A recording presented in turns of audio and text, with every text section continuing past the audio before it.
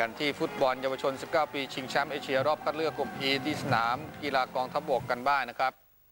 โดยทีมชาติไทยนะครับ พบกับทีมชาติเวียดนามนะครับ ซึ่งเกมนี้ก็มีแฟนบอลเข้ามาชมกันอย่างคึกคักเลยทีเดียว ครึ่งแรกครับทีมชาติไทยมีโอกาสทำเกมรุกใส่เวียดนามอยู่หลายครั้งครับ แต่ก็ไม่สามารถพังประตูได้ครับทำให้เสมอกัน 0 ต่อ 0 มาครึ่งหลังครับ นาทีที่ 58 ครับ ไทยก็ได้ประตูครับจากการบงของชาคิดละวันประโคน ก็ทำให้ทีมชาติไทยนั้นนำไปก่อน1ต่อ0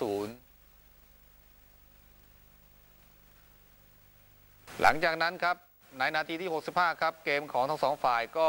เริ่มหนักขึ้นเรื่อย ๆ ครับ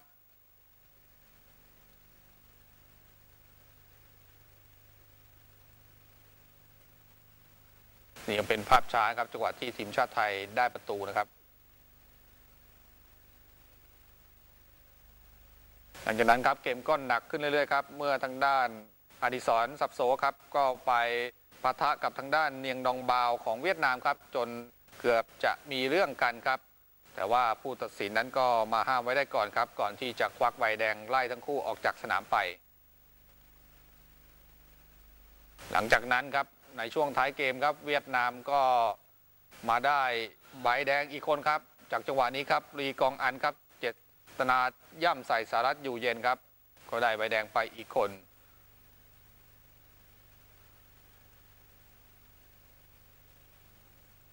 ในช่วงท้ายเกมครับ ไทยก็ยังบุกอย่างหนักครับ แต่ก็ไม่สามารถทำประตูเพิ่มได้ครับ ก็จบเกมครับทำให้ไทยเฉือนชนะเวียดนามไปอย่างสุดมัน1ประตูต่อศูนย์โอกาสผ่านเข้ารอบไปเล่นในรอบสุดท้ายนั้นค่อนข้างสูงครับ ถ้าหากว่านัดหน้าครับสามารถเสมอกับเกาหลีใต้ได้สำเร็จ